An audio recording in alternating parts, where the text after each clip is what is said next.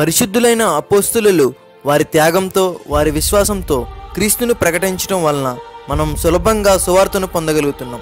అపోస్తులైన యేసు ప్రభు వారి పన్నెండు మంది శిష్యుల పేర్లు వరుసగా సీమోను అంద్రియా యాకోబు యోహాను ఫిలిప్ బర్తలోమయి తోమా మత్తయి అల్ఫయి కుమారుడగు యాకోబు తద్దయి అనబడు యోధ కనానీయుడైన సీమోను ఇష్కర్యోతు యోధ పన్నెండు మంది శిష్యులలో ఎక్కువ శాతం మంది అంటే పదకొండు మంది శిష్యులు గలీలీకి చెందినవారే.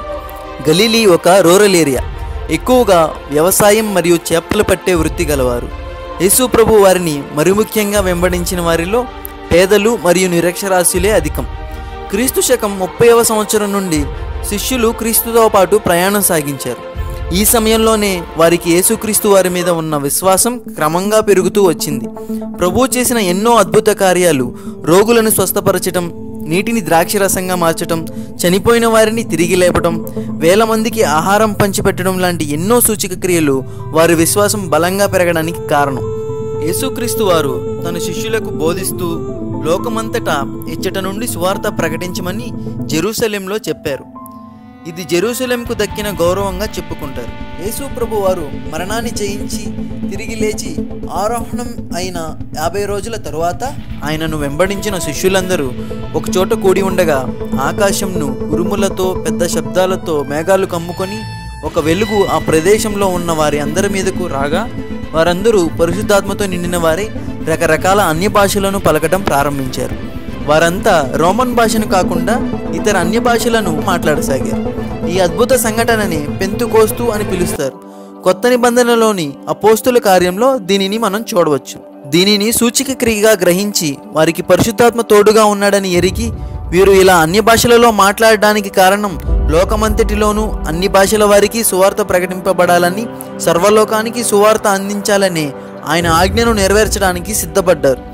ఈ సంఘటనను సంఘపు పునాది అని అదే రోజును సంఘం జన్మించిన దినంగా చెప్పుకుంటారు. అటు తర్వాత వారు ధారాళమైన ప్రసంగాలు చేసేవారిగా మారారు. ఈ సంఘటన అనంతరం మొట్టమొదటిగా ప్రసంగించింది సీమోను పేతురు. మానవుల పాపాల నిమిత్తం ఆయన ప్రాణం పెట్టింది. పరలోక రాజ్యంలో మనకు స్థానం కల్పించటానికని ఈ లోకంలో మన జీవనం పరలోక రాజ్యానికి సిద్ధపాటు మాత్రమే అని గ్రహించారు. వారి విశ్వాసం మరింత బలపడడంతో మెస్సయ్య వస్తాడనే లేఖనాలు నిజం కావటం అనేది వారి విశ్వాసాన్ని బలపరచడానికే అని తెలుసుకున్నారు. జెరూసలేంలో మొట్టమొదటి సంఘాన్ని ఏర్పరిచి సువార్త ప్రకటించడం ప్రారంభించారు. మొదటి శకం వారు తమని తాము క్రైస్తవులుగా గుర్తించుకోలేదు. వారు తమని మెస్సయ్య రాకను నమ్మిన యోధులుగా గుర్తించారు. ఈ సమయంలో చరిత్రకారులు ప్రత్యేకంగా చెప్పుకునేది పేతురు యొక్క నాయకత్వం. సీమోను పేతురు పన్నెండు మంది శిష్యులలో పేతురుది మొదటి స్థానం. యేసుప్రభు వారితో ఉన్న ప్రత్యేక సాన్నిహిత్యాన్ని బట్టి ఎంతో సంతోషించాడు. గలీలియ ప్రాంతమైన బెత్సైదా గ్రామానికి చెందినవాడు వృత్తి చేపలు పట్టడం జెరూసలేంను కేంద్రంగా చేసుకుని సువార్త వ్యాప్తికి కృషి చేశాడు. ఈయన నాయకత్వంలోనే ఆదిమ సంఘం యొక్క ప్రణాళికలు జరిగాయి. ఈయన సువార్త వ్యాప్తిలో భాగంగా ఇంగ్లాండ్ ఫ్రాన్స్ గాల్ దేశాలు సందర్శించాడని చరిత్ర ఆధారాలు ఉన్నాయి. ఆ కాలంలో రోమన్ చక్రవర్తిగా ఉన్న నీరో మహారాజు క్రీస్తుని గురించి బోధలు చేస్తున్న క్రైస్తవులపై అనేకమైన అకృత్యాలు జరిగించాడు. ఈయన క్రూరమైన ఆలోచనలకు సాక్ష్యం రోమ్ నగరం దహనం కావడమే. ఈయనను బంధించి చీకటి చెరసాలగా పేరు పొందిన మైనర్ డెన్ చెరసాలలో తొమ్మిది నెలల పాటు బందీగా ఉంచారు. ఆ తరువాత నీరో మహారాజు ఆజ్ఞలతో పేతురుకి శిలువపై మరణశిక్ష విధించారు. ప్రభువు వలె శిలువ మరణం పొందడానికి తాను ఏమాత్రం అర్హుడను కాదని తలచి తనను తలక్రిందులుగా శిలువ వేయమని కోరడంతో క్రీస్తు శకం అరవై ఏడులో రోమ్ నగరంలో మరణశిక్ష విధించారు. పరలోకపు ద్వారం యొక్క తాళం చెవులు తను కలిగి ఉన్నట్లు ప్రభువు ద్వారా తప్ప మరి దేని ద్వారా పరలోకానికి చేరుకోలేమని తను ప్రకటిస్తూ దానికి సూచనగా తాళాలను ధరించి ఉండేవాడు. చరిత్రకారులు అపోస్తులందరికీ కూడా వారికి గుర్తింపు చిహ్నాలను కేటాయించడం జరిగింది. పేతురుని తలకిందులుగా సిలువ వేసి చంపటం వలన తలకిందులుగా ఉన్న సిలువను మరియు తాళాలను ఈయన గుర్తింపు చిహ్నంలో పొందుపరిచారు. అంద్రేయ.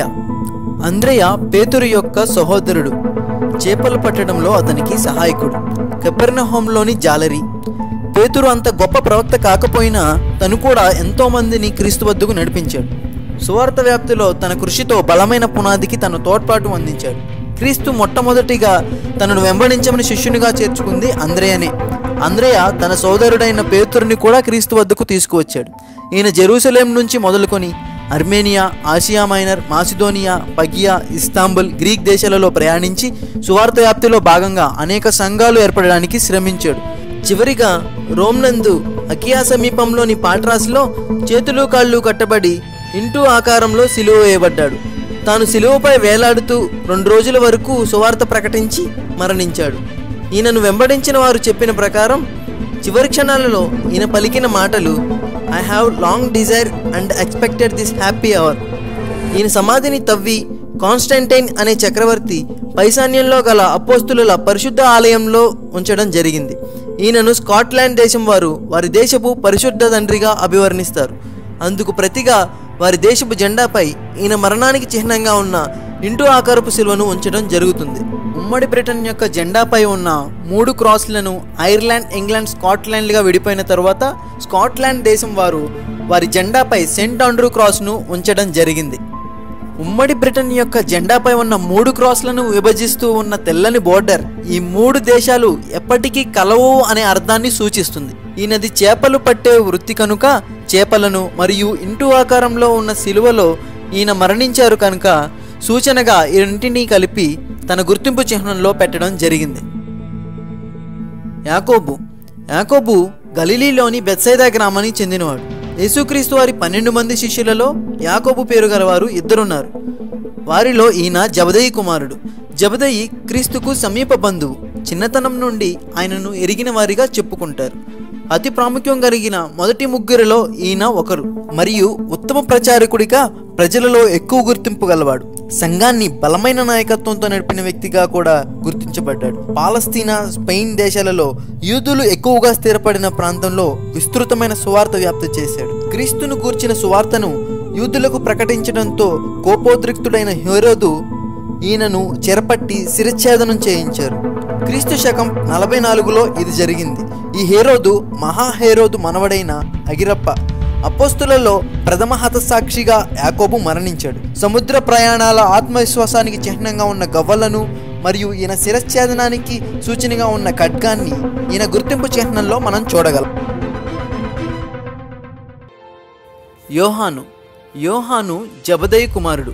తన సోదరుడైన యాకోబుతో కలిసి చేపల వృత్తిలో ఉండేవాడు. పేతురు మరియు అంద్రేయ వీరి వ్యాపార భాగస్వాములు. యోహాను పన్నెండు మంది శిష్యులలో చిన్నవాడు. ఇతను పెంతకోస్తు దినం నాడు పేతురుకి కుడిభుజంగా వ్యవహరించాడని చెప్తారు. పెర్గియా ఫిలదెల్ఫియా స్పార్దిస్ స్ముర్నా తాంతియా పెర్గేములలో ఈయన సువార్త సేవ విస్తృతంగా చేశారు. ఎఫెస్సులోని తాంతియన్ చక్రవర్తి కాలంలో యోహానును బంధించి రోమ్కు తీసుకువెళ్ళారు అక్కడ కాగుచున్న నూనెలో విసరబడ్డాడు. అయినను ఎటువంటి హాని జరగకపోవడంతో చక్రవర్తి ఈయనను పద్మాస్ ద్వీపంకు బహిష్కరించారు. అది టర్కీ దేశపు తీరంలో ఉంది. ఏ సంచారం లేని ఆ ద్వీపంలో ఒంటరిగా బాధలు పడి శ్రమపడి చనిపోవాలనే ఉద్దేశంతో ఇది జరిగించారు. ఈయన అక్కడ ఉండగానే ప్రకటన గ్రంథం రాయబడింది. రాయబడిన ఆ గుహని అపోకలిప్స్ గుహ అని అంటారు. యోహాను మరలా విడుదల చేయబడి మోడర్న్ టర్కీ ప్రాంతానికి మొదటి బిషప్గా వ్యవహరించాడు. ఈయన తన వృద్ధాప్యంలో నూట ఒకటి సంవత్సరాల వయస్సులో మరణించాడు. ఇలా అపోస్తులలో సాధారణమైన మరణాన్ని పొందిన ఒకే ఒక్క వ్యక్తి యోహాను. యోహాను సువార్త మొదటి యోహాను పత్రిక రెండవ యోహాను పత్రిక మూడవ యోహాను పత్రిక మరియు ప్రకటన గ్రంథం ఈయన ద్వారా రాయబడ్డాయి. ప్రేమ గురించి ఎక్కువగా ప్రస్తావించారు. తన జీవితంలో తన మరణానికి అనేక ప్రయత్నాలు జరిగాయి. విషపూరితమైన చట్టం నుండి కూడా బయటపడడం జరిగింది. అందువలన ఒక గిన్నెలో ఒక విషసర్పాన్ని ఈయన గుర్తింపు చిహ్నంగా చూడగలం. ఫిలిప్ ఫిలిప్ బెత్సైదా పట్టణానికి చెందినవాడు. అపోస్తులైన పేతురు మరియు అంద్రియలు ఈయన గ్రామస్తులే ఫిలిప్ అనే పేరు గ్రీకు పదం. గ్రీకు మాట కావడంతో ఈయన గ్రీసు దేశస్థుడని అందరూ అనుకుంటారు. ఈయన క్రీస్తుని వెంబడించలేదు. క్రీస్తే ఆయనను వెంబడించమని ఫిలిప్ను పిలిచినట్లుగా యోహాను సువార్త ఒకటి నలభై మూడులో మనం చూడగలం. ఫిలిప్ దేనినైనా పరిశీలించిన తర్వాతే నమ్మే స్వభావం గలవాడు. ఫిలిప్ తర్వాతి కాలంలో తన స్నేహితుడైన నతానియల్ను క్రీస్తు వద్దకు నడిపించాడు. నతానియలు లేఖనాలను బాగా తెలిసినవాడు. తన ద్వారా లేఖనాలను గురించి పరిశీలించి తెలుసుకున్న తర్వాతే నమ్మి విశ్వాసంతో ఆయనను వెంబడించాడు. యోహాను సువార్త ఆరో అధ్యాయంలో వేల మంది ప్రజలు క్రీస్తు కొరకు చేరుకున్న సమయంలో వీరికి ఎక్కడ నుండి రొట్టెలు కొని తెప్పించగలమని ఫిలిప్పు అడిగాడు. సైత్సోకు వెళ్ళి ఇరవై సంవత్సరాలు సేవ చేశాడు. ఇది రష్యన్ సామ్రాజ్యం యొక్క దక్షిణ భాగం. తరువాత ఫ్రాన్స్ ఆసియా మైనర్కు వెళ్ళి సేవ చేశాడు. ప్యూరా హోలీ పట్టణంలో కొంతమంది మతాధిపతులు ఈయనను బంధించి సిలువకు కట్టారు. సిలువలో వేలాడుతుండగానే రాళ్ళు విసిరికొట్టి చిత్రహింసలు చేశారు. వీళ్ళని క్షమించమని ప్రార్థించి మరణించాడు. అప్పటికి ఈయన వయస్సు ఎనభై ఏడు సంవత్సరాలు. ఫిలిప్పు ఐదు రొట్టెలు రెండు చేపలు బహుజనానికి పంచడంలో ప్రత్యక్ష సాక్షిగా ఉన్నాడు. మరియు సిలువపై వేలాడదీసి చంపబడ్డాడు. అందువల్లనే రెండు రొట్టెలు సిలువను తన గుర్తింపు చిహ్నంలో ఏర్పరచడం జరిగింది. భర్తాలోమయి భర్తాలోమయి అనగా తులమయి కుమారుడు అని అర్థం. భర్తాలోమయి అనే పదం అరామిక్ పదం. గలిలైలోని కానాను ప్రాంతంలో తులమయి కుమారుడు అని పిలువబడుతున్నాడు. ఈ ప్రాంతం నజరేతుకి ఐదు మైళ్ళ దూరంలో ఉంది. భర్తలోమయి అని పిలువబడుతున్న నతానియలు ధర్మశాస్త్రమును చక్కగా చదివినవాడు. యోహాను సువార్త ఒకటి నలభై ఏడులో యేసుక్రీస్తు వారు నతానియేలు గురించి చక్కగా చెప్తున్నారు. ఇదిగో ఇతడు నిజంగా ఇస్రాయేలీయుడు ఇతని యందు ఏ కపటమూ లేదు.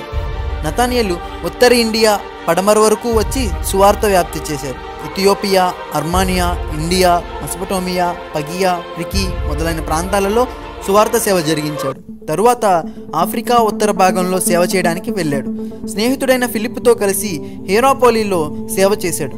క్రీస్తు శకం అరవైలో అర్మానియా దేశంలో తన సేవను ప్రారంభించాడు. అప్పటికే తద్దయి అక్కడ సంఘాన్ని ఏర్పాటు చేసి ఉన్నాడు. అక్కడి రాజు పూజించే విగ్రహాల్లోని దెయ్యాలను వెళ్ళగొట్టి రాజును అక్కడున్న మరికొందరును బాప్తిస్మం పొందడానికి కారణమయ్యాడు. శాస్త్రులు రాజు యొక్క సహోదరుని సహాయంతో భర్తాలయమని బంధించి బ్రతికి ఉండగానే చర్మాన్ని వలిచి ఘోరమైన హింసతో కూడిన మరణాన్ని పొందేలా చేశారు. భర్తాలోమయిగా పిలువబడుతున్న నతానియలు యొక్క సమాధి అర్మానియాలో ఉంది. ప్రస్తుతం ఈయన ఎముకలు టైప్రస్ నది ఒడ్డున ఉన్న సెయింట్ బర్తలోమయి ఆలయం నందు ఉన్నాయి. లేఖనాలను ఎరిగిన బర్తలోమయి స్వేచ్ఛగా సువార్తను ప్రకటించాడు. చర్మం వలచబడి చంపబడ్డాడు. కనుక ఈయన గుర్తింపు చిహ్నంలో లేఖన గ్రంథం మరియు కత్తిని మనం చూడగలం. తోమ. తోమ దిదుమ అని పిలువబడుతున్నాడు. తోమ ఒక పేద జాలరి పునరుత్థానం అయిన క్రీస్తును చూసి తాకితేనే కానీ నమ్మలేదు. తోమ గలీలీలోని తెబీరియా ప్రాంతంలో నివసించేవాడు. యోహాను సువార్త ఇరవై ఇరవై ఏడులో తోమ అవిశ్వాసం తొలగిపోయి నూతన విశ్వాసగా రూపాంతరం చెందటం ఈ స్థిర విశ్వాసం ఇతర శిష్యుల కంటే ఎక్కువ దూరం ప్రయాణించి క్రీస్తు కొరకు మరణం పొందినంతగా మనోధైర్యాన్ని కలగచేసింది. తోమా మెస్పటోమియాలోని ఎడిసా అనే ప్రాంతంలో తన సేవను ప్రారంభించి బబులోను సైప్రస్ క్రిటీ నార్త్ ఆఫ్రికా ప్రాంతం మరియు సిసిలీ నుండి అన్యస్థితిలో ఉన్న ఇండియాలోని మలబార్ తీరం చేరుకున్నాడు. ఆ సమయంలో భారతదేశాన్ని బోండో ఫోరస్ అనే రాజు పరిపాలిస్తున్నాడు. అతని వద్ద కట్టడ నిపుణుడిగా చేరాడు. కేరళలోని మలబార్ సముద్ర తీరంలో ఏడు స్థలాలలో సంఘాలను స్థాపించి ఇద్దరిని అభిషేకించి వారికి వాటిని నడిపించే బాధ్యతలు అప్పగించి తూర్పు దిశగా ప్రయాణించాడు. చెన్నై పట్టణ ప్రాంతంలోని మైలాపూర్లో తన సేవ కొనసాగించాడు. మైలాపూర్లోని తన సేవను చూసి అన్య దేవతల పూజారులు మిస్త్రీ అనే అక్కడి రాజు సహాయంతో ప్రార్థించుకుంటున్న సమయంలో బల్లెంతో పొడిచి ఆయనను చంపారు. ఆ ప్రదేశాన్ని మౌంట్ థామస్గా పిలుస్తున్నారు. క్రీస్తు శకం డెబ్బై రెండులో మరణించారు. ఆయన శిష్యులు ఆయన ద్వారానే కట్టబడిన ఆలయం వద్ద మైలాపూర్లో ఆయనను సమాధి చేశారు. సమాధిలోని ఇటుకరాళ్ళు మొదటి శతాబ్దానికి చెందినవిగా రుజువు అవుతున్నాయి. క్రీస్తు శకం మూడు వందల తొంభై నాలుగులో కాన్స్టాంటైన్ అనే చక్రవర్తి ఆదేశానుసారం తోమా యొక్క సమాధిని తవ్వి ఆ ఎముకలను ఇటలీలోని ఓర్టనాలో సమాధి చేశారు. కాన్స్టాంటైన్ను మొట్టమొదటి క్రైస్తవ చక్రవర్తిగా అభివర్ణిస్తారు. ఇలా తవ్వి తీసుకువెళ్తున్న సమయంలో తోమ యొక్క బొటనవేలు ఊడి పడిపోవడంతో మైలాపూర్లో దానిని సమాధి చేసి మిగిలిన ఎముకలను ఇటలీలో సమాధి చేశారు. ఈ విధంగా తోమా యొక్క సమాధి ఇటలీ మరియు మైలాపూర్ రెండు చోట్ల ఉంటుంది.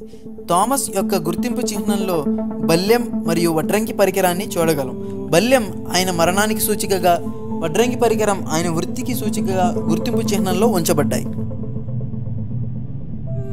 మత్తయి మత్తయి రోమన్ ప్రభుత్వపు సుంకపు పన్ను వసూలు చేసే అధికారి ట్యాక్స్ కలెక్టర్. కెపర్నహోములోని ఓడల వాణిజ్య రవాణా పన్ను వసూలు చేసే వృత్తి. రోమన్ ప్రభుత్వం యూదుల వద్ద అనేక రకాలుగా పన్నులు వసూలు చేస్తూ ఉండేది. నేల మార్గము సముద్ర మార్గము నుండి వచ్చే వస్తువులపై సుంకపు పన్ను విధించేవారు. ఆ విధంగా కెపర్నహోములో పన్నులు వసూలు చేసే వారిలో ఒకడు ఈ మత్తయి. రోమా ప్రభుత్వం తరపున ఉద్యోగం చేసే యూదులు కనుక మిగిలిన యూదులు కులద్రోహులు అని ద్వేషించేవారు. సమాజ మందిరంలో కూడా చోటిచ్చేవారు కాదు. వీరి కానుకలు అంగీకరింపబడేవి కాదు. అయినా యూదుల ఆచరణలు మాత్రం విడిచిపెట్టలేదు. యూదుల గ్రంథాలను విరివిగా చదివినవాడు. క్రీస్తును గురించి తెలుసుకోగలిగాడు. అందును బట్టి యేసు ఈయనను చూచి ఇచ్చమని చెప్పాడు. ఇతను లేచి ఆయనను వెంబడించాడు. క్రీస్తు చెప్పిన వాటిని చేసిన వాటిని రాసిపెట్టుకున్నాడు. తరువాత అది సువార్తగా మారిపోయింది. పాత నిబంధనలో క్రీస్తుకు సంబంధించిన ప్రవచనాలను ఎత్తి చూపించి లోకమును రక్షించుటకు వచ్చిన మెస్సయ్య క్రీస్తే అనే సత్యమును నొక్కి చెప్పాడు. అందును బట్టి ఆదిమ సంఘపు క్రైస్తవ పితరులు మత్తయి సువార్తను కొత్త నిబంధన యొక్క మొదటి పుస్తకంగా సమకూర్చారు. మత్తయి పదిహేను సంవత్సరాల పాటు యూదుల మధ్య సువార్త సేవ చేశాడు. పారసీక ఐథియోపియా ప్రాంతాల్లో సేవ చేశాడు. అక్కడి నుండి క్రీస్తు శకం తొంభైవ సంవత్సరంలో తాబ్రియేలు ఏలుబడిలో హతసాక్షిగా మరణించాడు. ఈటితో పొడిచి గొడ్డలి చేత శిరస్త్రాణం చేసి చంపబడ్డాడు. ఈయన గుర్తింపు చిహ్నంలో ఈటతో ఉన్న గొడ్డలి మరియు ఈయన వృత్తికి సూచన అయిన డబ్బు సంచులను ఉంచడం జరిగింది.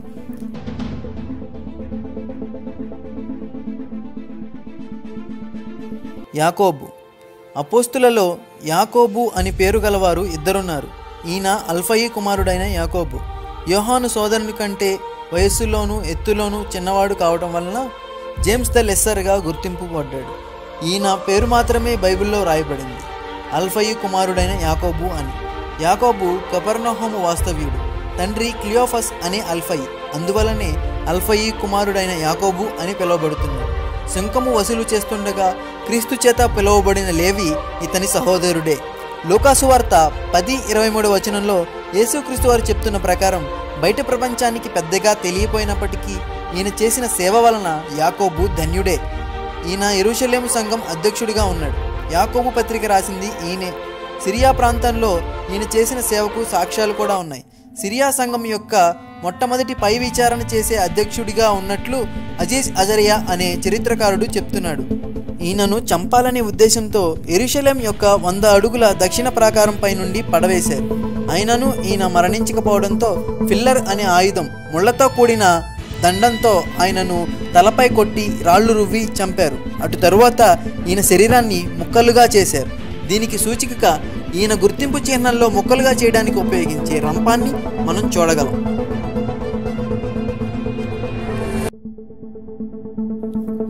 యూదా తద్దయి అని పిలువబడుతున్నాడు. పన్నెండు మంది అపోస్తులలో యూదాలు ఇద్దరు ఉన్నారు. ఈయన తద్దయి కుమారుడైన యూదా. యూదా గలీలీకి చెందినవాడు. యుహాను సువార్త పద్నాలుగు ఇరవై రెండులో సెయింట్ జెరోమ్ ఈయనను ట్రయోనియస్గా పిలుస్తున్నాడు. ఈయనకు యూదా అనే పేరుతో పాటు తద్దయి లెబ్బయి అని మూడు పేర్లున్నాయి. అందువల్లనే ఈయనను ట్రయోనియస్ అన్నాడు. ఈ పేర్లను మత్తయి సువార్త మూడు పదిలో ప్రస్తావించడం జరిగింది. తద్దయి విశ్వాసంలో స్థిరంగా ఉండేవాడు. ఈయన ఇష్కరియోతు వల్లే దారి తప్పిపోయినవాడు కాదు. క్రీస్తుని ప్రేమించి విశ్వసించిన తద్దయి మిగిలిన వారితో పాటు పరిశుద్ధాత్మను పొందుకున్నాడు. అర్మేనియా ప్రాంతంలో సేవ చేసిన ఐదుగురు అపోస్తులలో తద్దయి ఒకడు. తద్దయి బర్తలోమేలు అర్మేనియా దేశపు పరిశుద్ధపు తండ్రులుగా పిలుస్తున్నారు. ఇది ప్రపంచంలోనే మొదటి క్రైస్తవ దేశం. తన సేవ యొక్క చివరి సంవత్సరాలలో తద్దయి పారసీక దేశమందు గడిపాడు. కానానీయుడైన సీమోను ఈయనతో కలిసి సేవ చేస్తున్న సమయంలో వీరిద్దరిని అక్కడ విగ్రహారాధన చేసే కొంతమంది చంపారు. ఇద్దరి సమాధులు కూడా ఒకే చోట పాతిపెట్టబడ్డాయి. తద్దయిని బల్లెంలతో పొడిచి చంపారు. తాబ్రీస్ అనే పట్టణంకు నలభై మైళ్ళ దూరంలో కాస్పియన్ సముద్ర తీరమందలి కార్కలిసా అనే గ్రామంలో వీరి సమాధి ఉంది. ప్రస్తుతం అది ఇరాన్లో ఉంది. ఈయన చేసిన ధారాళమైన సేవను గుర్తించి పేరు ప్రఖ్యాతులతో సంబంధం లేకుండా మన పేరు చరిత్రలో కాకపోయినా పరలోక రాజ్యంలో రాయబడాలి అనే సదుద్దేశంతో ఈయన ప్రాణత్యాగానికి సూచనగా తెరచాప పైన సిలువతో ఉన్న నావను ఈయన గుర్తింపు చిహ్నంలో ఉంచడం జరిగింది. సీమోను. సీమోనును కానానీయుడైన సీమోను అని కూడా అంటారు. మత్తైసు వార్త పదవ అధ్యాయం మార్కు సువార్త మూడవ అధ్యాయాలలో ఈయన పేరు రాయబడడం చూస్తాం. యేసుక్రీస్తు వారు మొట్టమొదటి సూచిక క్రియగా అద్భుతం చేసిన కానాను అనే ఊరికి చెందినవాడు. సీమోను జలుతే తెగకు చెందినవాడు కావడంతో సీమోనును జలుతే అని కూడా పిలుస్తారు. ఎరుషలేం నందు రోమా సైన్యాన్ని తరిమివేసి ఎరుషలేంను సొంతం చేసుకున్నది ఈ విప్లవకారులే. రోమా చక్రవర్తి నీరో యూదులను అణిచివేయడానికి పెద్ద సైన్యాన్ని పంపించాడు. తీవ్రవాది అయిన సీమోను క్రీస్తును నమ్మి విశ్వసించి ఆయనను వెంబడించాడు. ఆత్మాభిషేకం కొరకు మేడగదిలోకి కూడిన వారిలో ఈయన కూడా ఉన్నాడు. సీమోను తన సువార్త సేవను ఐగుప్తు సియరిన్ మారిడానియా లిబియా నార్త్ ఆఫ్రికాలలో జరిగించాడు. తరువాత స్పెయిన్ ఇంగ్లాండ్కు వెళ్ళాడు. క్రీస్తు శకం యాభై తొమ్మిది నుండి అరవై రెండు వరకు మెసపటోమియా ప్రాంతంలో సువార్త ప్రకటించడానికి వెళ్ళిన సీమోను అపోస్తులుడైన తద్దయిని కలుసుకున్నాడు. ఇద్దరూ కలిసి పారసిక దేశానికి వెళ్ళారు. అక్కడ విగ్రహారాధన చేసేవాళ్ళు వీరిద్దరినీ చంపారు. సీమోను రంపంతో కోయబడి చంపబడ్డాడు. ప్రస్తుతం వీరి సమాధులు ఇరాన్ దేశంలో ఉన్నాయి. వీరి ఎముకలు రోమా పట్టణమందున్న సెయింట్ పీటర్ చర్చ్ అలాగే స్పెయిన్ దేశంలో ఉన్నటువంటి టొలుజా పట్టణపు సెయింట్ సాటర్నియస్ చర్చిలో కూడా ఉన్నాయి. ఈ విధంగా హతసాక్షిగా మరణించిన సీమోను గుర్తింపు చిహ్నంలో చేపను మరియు పరిశుద్ధ గ్రంథంను సూచనగా ఉంచారు. చేపలు పట్టే సాధారణ జాలరిని మనుషులను పట్టే జాలరిగా ప్రభువు మార్చారు అని దీని అర్థం. యోధా యోధా ఇష్కర్యోతు ఒక అన్యునిగా ఉండి పాపం చేసిన వాడికంటే కూడా దేవునితో నడిచి చేసిన పాపాన్ని బట్టి మరి ఎక్కువగా శాపగ్రస్తులం అవుతామని చూపటానికి ఇష్కర్యోతు యోధా ఒక చక్కని ఉదాహరణ. యూదులను రోమన్ పరిపాలన నుండి విముక్తి చేయడంలో యేసుక్రీస్తు వారు సహాయపడతారని ఆయన అద్భుత శక్తులు ఉపయోగించి ఇస్రాయేలీయులు రోమన్లను అణిచివేస్తారని భావించి విశ్వాసాన్ని కోల్పోయి ముప్పై వెండి నెలలకు ఆయనను అప్పగించి శిలువ మరణానికి కారణమయ్యాడు. చేసిన పాపానికి ఉరివేసుకొని చనిపోయి శాపగ్రస్తుడై నరకానికి చేరాడు. ఇతను చనిపోయిన ఈ ప్రాంతం ఇప్పటికీ శాపగ్రస్తమైన స్థలంగా ఉంది. మిగిలిన అపోస్తులందరూ కలిసి ఇతని స్థానంలో పన్నెండవ శిష్యునిగా మత్తయ్యను ఎన్నుకున్నారు. ఇతను కూడా ముందు నుండే క్రీస్తుని వెంబడించినవాడు. మత్తయ్య తాను చేసిన సువార్త సేవలో భాగంగా హతసాక్షిగా మరణించాడు. ఈయనను శిరచ్ఛేదనం చేసి చంపారని చరిత్రకారులు చెప్తుంటారు. ఈ విధంగా క్రీస్తు ఆజ్ఞలను గైకొని సువార్త ప్రకటించటంలో శ్రమలు ప్రయాసలు పడి హతసాక్షులుగా మరణించి క్రీస్తును ప్రకటించిన అపోస్తుల త్యాగాన్ని వారి విశ్వాసాన్ని జ్ఞాపకం చేసుకుంటూ మనల్ని మనం ఒకసారి పరిశీలించుకుందాం. ప్రభు సేవలో వాడబడి దూరపు ప్రయాణాలు చేసి క్లిష్టమైన పరిస్థితుల మధ్య రవాణా సౌకర్యం కూడా లేని ప్రాంతాలలో కాలినడకన సువార్తను మొదలుపెట్టి క్రీస్తు కొరకు ఆత్మలు సంపాదించి ప్రభు చెంత చేరిన అపోస్తులకు సువార్త సేవకులకు స్మాల్ ట్రిబ్యూట్.